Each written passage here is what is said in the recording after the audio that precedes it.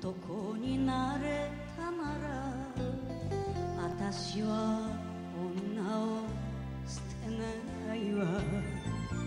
ネオンブラシの蝶々には優しい言葉が染みたのよ。バカだな。